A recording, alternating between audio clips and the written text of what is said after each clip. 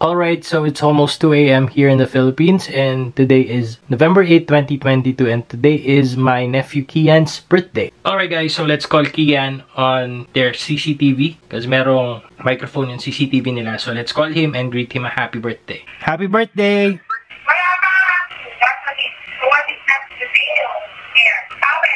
So tinuturuan ni ate ko si Kian for his assignment. Nag-aaway yung mag-ina. Alright guys, so let's try to call them again later pag alas 12 na doon. And let's greet Kian a happy birthday if they're still awake. Alright guys, so sadly, they are sleeping. Maybe because may pasok sila Kian tomorrow. Uh, not sure if magsi-celebrate sila sa Dubai. But most definitely, we're gonna celebrate Kuya Kian's birthday later. Baka ang gagawin namin is magluto lang ng spaghetti and bumili ng cake and uh, bahala na. Alright guys, so let's greet Kuya Kian once again. It's 11.15 here in the Philippines. Happy birthday, Kian! Yes, this is it. How old are you, Kian? I'm seven years old. Are you celebrating today? Yes, at school. Okay, enjoy your birthday. Happy birthday once again. Happy 7th birthday, Kian Paul Bugay Montilla. This vlog is for you.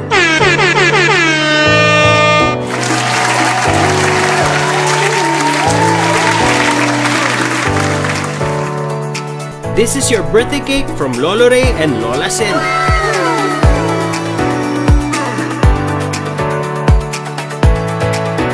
We got you some spaghetti,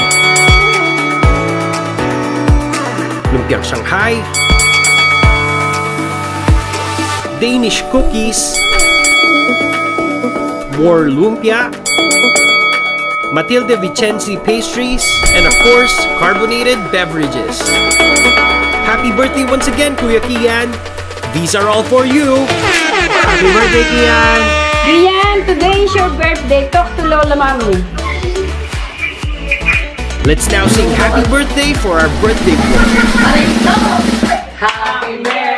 Ginagawa mo. Happy birthday to you.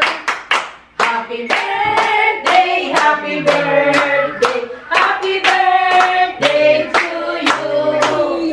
Happy birthday to you. Happy birthday to you.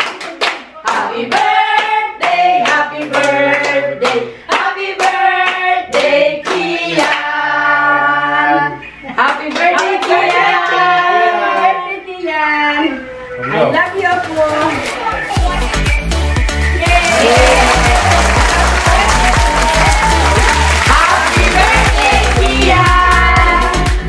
let's now pray for God's blessings.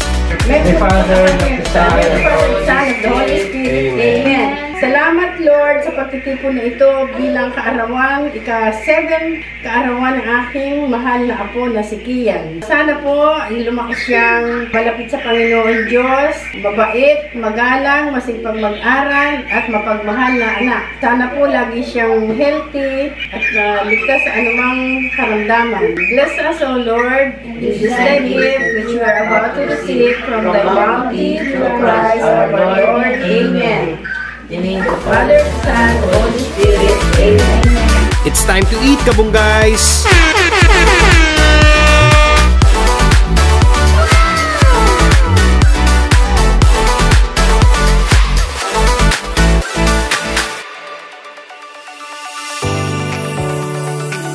And that's it for this vlog, kabong guys! To our Kuya Kian, be a good brother to baby Kyrie and a good son to your mommy Katie and daddy Kelly. Wishing you all the best life has to offer.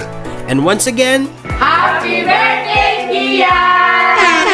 Thank you guys for watching. Click the subscribe button and hit the notification bell. Give a thumbs up if you like this video and share your thoughts by commenting down below. Click here for my latest videos. Follow me on my social media handles on Facebook, Twitter, Instagram, and TikTok. Again, thank you kabong guys for watching. Have a great day.